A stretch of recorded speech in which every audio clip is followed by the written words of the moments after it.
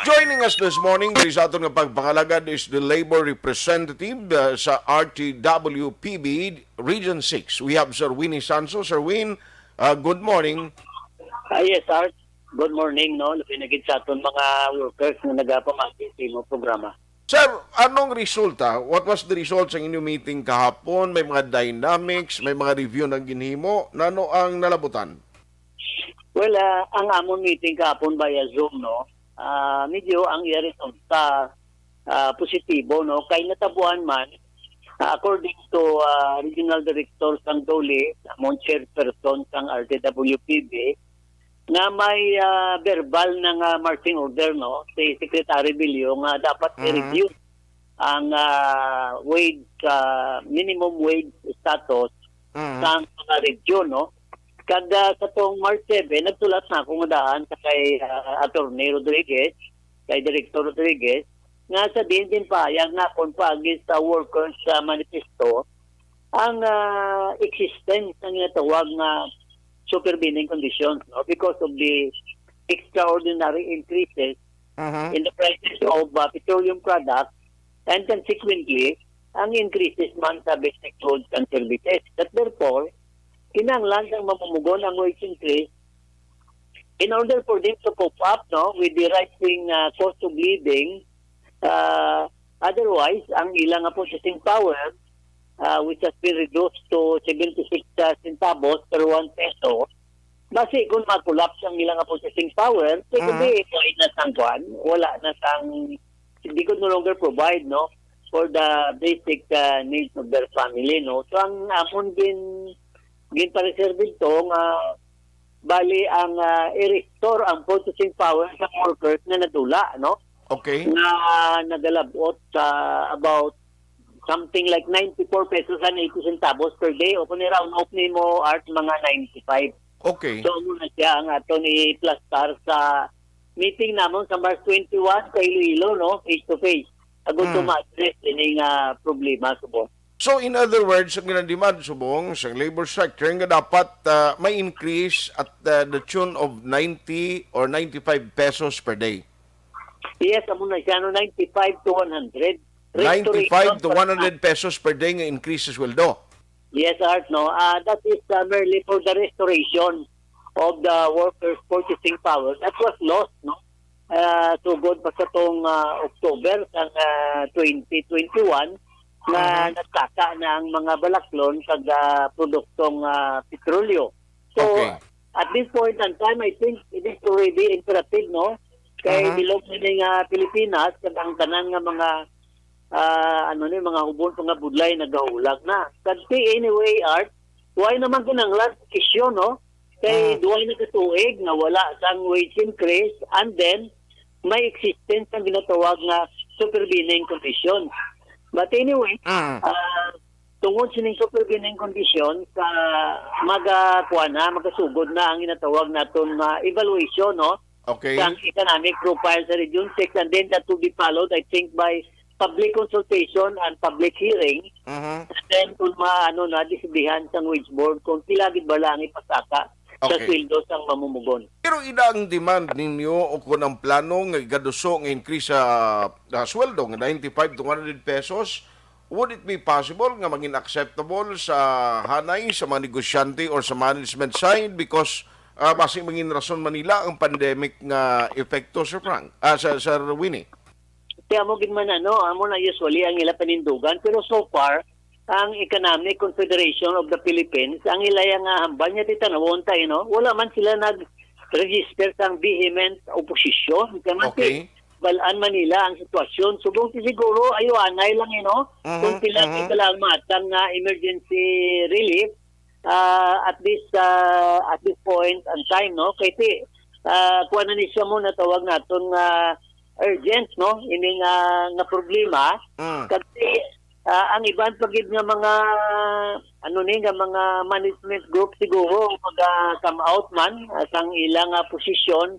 But ah, not like before nga masyado ka bakod sang ilang nga posisyon.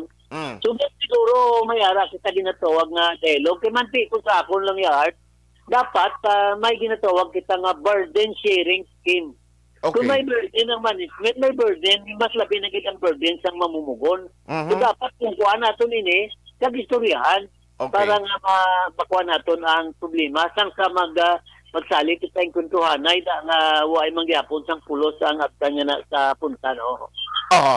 Pero kung inaligid man may ayuan ay mga more or less pila ang pwedeng nga makapasugot ang labor sector nga halimbawa no mag-appeal sa inyo ang management side nga mo ni masarangan namon mga pila na sa uh, Sir Winnie. Kasi siguro sa subong nga panahon we can meet them halfway no. Okay. Halfway siguro eh amo lagi na siya ang pinaka ah, limit ni mo da mga mga 50 pesos in Mhm. order to have an emergency relief allowance per day ah. 50 Okay. pesos per day in order to mitigate no. Aha. Kining hindi nagidya magonta nga ti o sa dason semana ah, masaka naman kuno ang kuan ang ah, petroleum product ti ang mga ang transport sector nagademand mas ang parent crest Mhm. kasi tubig, tuga, tanan-tanan, tanan-tanan kasaka except sa sweldo sa mamumugon. Okay. So dapat nakaan. Art. Aha. So, ang ekspektaron naton on March 21 sa inyo face-to-face nga meeting, dira i-lay down na ninyo ang cards ninyo o kung i-lay down na sa labor sector kung pilang demand niyo sa increase. Yes, no? Ah, masugod na na siya kasi schedule na siguro art ang ginatawag natin na public consultation Okay. sa public hearing. Kaya anyway, ang kinanglan mo man lang, duwa ka public hearing mo, isa abi sa Iloilo, Mhm. kag isa man di sa Negros, and then after that, ma-deliberation Mm. ang regional wage board. No? The longest that it will take, I think it's about 45 days. no Pero kung kinanglan nga paliputon siya, kay man ti urgent ini, mahingyo kita Okay. na dapat ah, kung pwede lang makuan bala ma-expedite no Mm. para uh, mata- maano dayon ma ma-address yung urgent needs ng mga mamumugon sa Western Visayas. So kung masunod properly ang uh, kinanglanon nga timetable more or less by uh, June basi kung makapagwa na sang uh, uh, wage order number. Hopefully no, hopefully kagati ah i, i ayo naton i earth naton sa regional wage board na Mhm. Hindi na nato ng padugayan di man ti ano mo na ang kumpaya di patay ng kabayo Correct. ano so kinanglan kinanglan na ah, as early as possible ma-address ini nga gumuntang ah, art Aha. Pero since ginataga na green light sang Dolly, uh, at least, no? At least, uh, do may maayo ining, uh, may positibo ining nga gina-expect naton nga mayara gyud sang increase. Ah, yes, ah, no kay Matis ang una, yung pagsugod pa lang, pamalabag dayon ang management mo. Tapos Mhm. ang gobyerno man sa una, masiling dayon nga, it's not a time for a wage increase because of uh, high inflation, so on and so forth. Okay. Subong niya, si, why man sila sa nirason, kay may ginatawag kita nga supervening conditions that would justify the uh, implementation of uh, wage increase all over the regions in the Philippines. Art. Aha. Way labot ka na sa increases ti sa March 21 to 22 ho may ara pa untat biyahe ang tao ang iba nga mga empleyados ni nga when you talk about uh, private uh, sector nga mga trabante ti way man sakyan. Kaya mo nga ni Art nga magsiling sila nga kung magsaka ang sweldo, ma mang layoff, mang retrench, si dugay naman na nila nga rason no.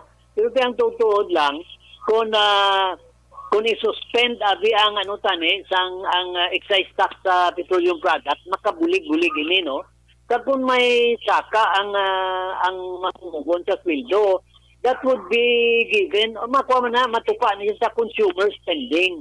Di kung may consumer spending, kung bakal mo pagkaon, o bakal mo kwa nuda, may taxes man na gyapon, magabalik man na sa gobyerno, no? Mhm. So, dapat intindihan man sa gobyerno ang ginatawag naton nga mapiyot nga kaimtangan sa mga mamumukon. Subong sir ang aktual no ah, sa survey kag monitoring ninyo nanong aktual nga sitwasyon sa mga ordinaryo nga mga, mga mamumugon nga nasugilanon mo na. Alas 8.27, Action Radio Philippine Standard Time. Ang ginahistoryanta karon nga aga parte ini sa ginaproponer nga pagtaas sa sweldo sa mga ordinaryo nga mga mamumugon sa pribado nga sektor.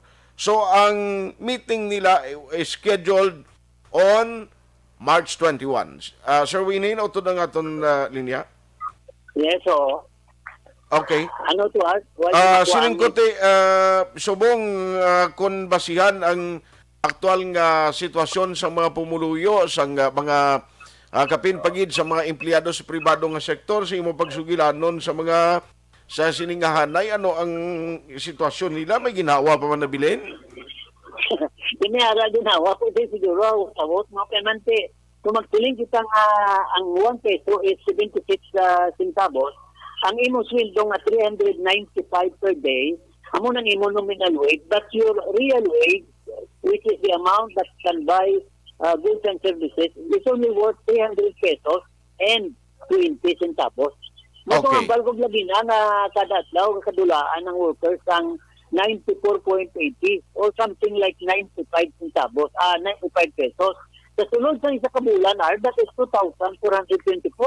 Tikat ako, sina nga bagay, may bayad mo pa sa siniko, ibayad mo pa sa matiwa, so on and so forth. In other words, the workers are now struggling to keep their head above water sa Ah. uh sinig uh, crisis, economic crisis ni ginatubang natin siguro. sige so keep us posted uh, Sir Winnie kung ano ginman na mabot sina monitor namon ini this coming March 21 ang results sa inyo meeting salamat gid good morning Yes, sir. Oh, thank you. Good morning.